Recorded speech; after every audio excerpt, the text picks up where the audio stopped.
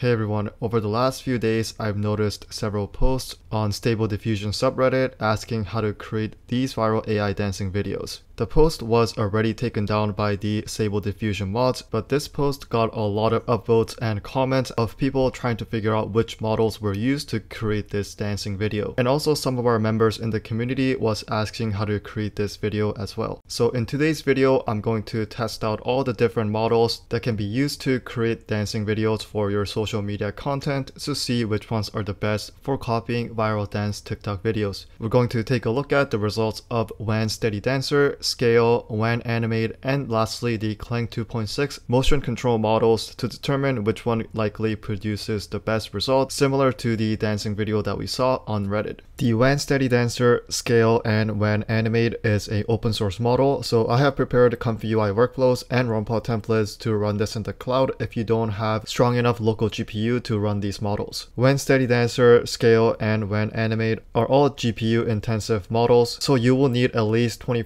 24GB of VRAM to run this workflow comfortably. So for those who don't have enough VRAM on their machine, just follow the link in the description to launch the RunPod template on the cloud and test out these models easily. The Kling 2.6 motion control model is a paid premium model, so you have to use Wavespeed or other AI generation platform that lets you use these models through their APIs. My preferred platform to go to is Wavespeed. When we test out Kling 2.6, I'll also go through how to set up Wavespeed on your desktop so that you can run these models without censorship. Now let's dive into testing out these workflows. We're going to first test out WAN Steady Dancer and look at the result. The workflow download link and the RunPod template link is in the description below. I'm going to launch the WAN Steady Dancer RunPod template on the 5090 GPUs. Once the container says the Comfy UI program is ready, you can launch the Comfy UI interface by going to the front page of RunPod and then clicking the HTTP service. I'll first briefly go over the models that we are using. For the base model, we're using the WAN 2.1 Steady Dancer FP8 model by KJ.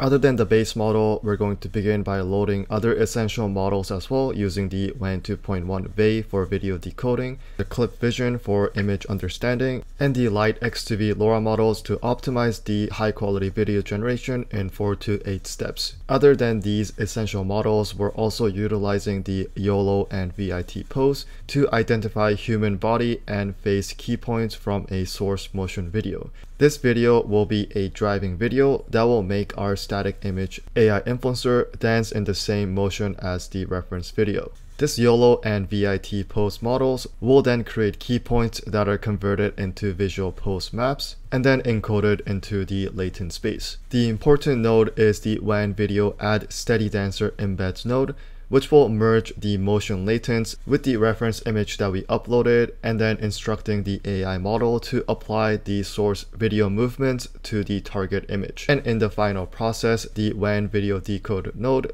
will turn the latents back into the high quality video frames. For those of you who want to download the models and set it up locally, I've also prepared all the model download links in the node in the workflow. Before we run the workflow, I'm going to tell you an important tip to create your character image. Essentially, I recommend your character image to be similar as the first frame of your reference video so that the character body and the overall background composition is similar to the first frame of the video. You can do this by first extracting the first frame of your video and then going to Seedream 4.5 through Wavespeed desktop and use a prompt like put the girl from the first image to the second image with the same outfit. And you can see the result that I got right here. It would be better if the character image is facing a little bit more forward like the reference video, but for the testing, I think it's good enough. Now with the same character image and the video, I'm going to run the input reference video and image on the workflow. As you can see from the result of Steady Dancer, we get a pretty good dancing video, but it's not as good as the quality of the AI generated TikTok dance video. So now we're going to try WAN Scail model and test out what result we're going to get from the workflow. The WAN Scail workflow can also be run on the same RunPod template as the WAN Steady Dancer. Just drag and drop the workflow that you downloaded in the description below into the RunPod template episode. This WAN Scail pose UI workflow for the WAN video model is designed to animate a character based on a reference image and a driving video while maintaining the high pose fidelity. From what community has been testing, the WAN Steady Dancer is a little bit better at character preservation, while the new Scail model's strength is at replicating exact motion while maintaining a pretty good character consistency and details. Another feature of WAN Scail model is that it also supports multiple people and transfer the motion of multiple multiple characters. I'm going to explain the workflow briefly before starting the generation. And this workflow was designed with the help of another Comfy UI YouTube channel called Veteran AI. So feel free to check out his channel as he makes really quick updates on using new open source models in Comfy UI. The workflow starts out by setting the resolution constant,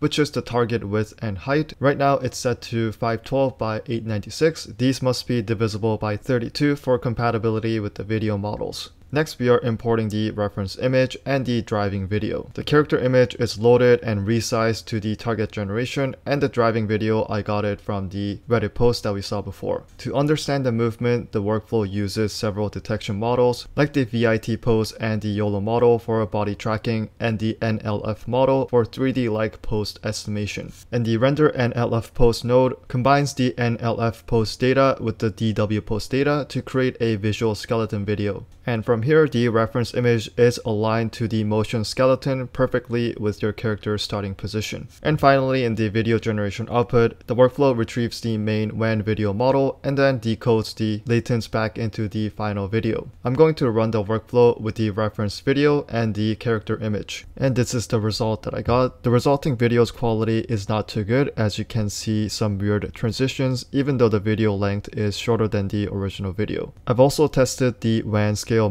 on WaveSpeed as well, the result was about the same. Also another thing to mention is that in both of these videos, the characters' lips are not really matching the original videos as well. And lastly, I also tried WAN Animate for the highest quality. I used WAN Animate on WaveSpeed on 720p resolution. And for all the results of these three models, I'm going to put them on the screen. You can see that the generation result of these three models were not as good as the original TikTok video. So as a last test, I tried Kling 2.6 motion control model with the same input video and the image. To install WaveSpeed on your machine, you can go to their GitHub repository. I'll leave this link in the description below. Scroll down and go to the installation section and then click the releases page. Then scroll down and select the show all assets button and depending on your operating system, select and install the correct execution files. Once you open up the WaveSpeed desktop, you'll be prompted to put in your WaveSpeed API key. You can create your WaveSpeed API key by going to the WaveSpeed website, sign into your WaveSpeed account, and under your profile, click the API keys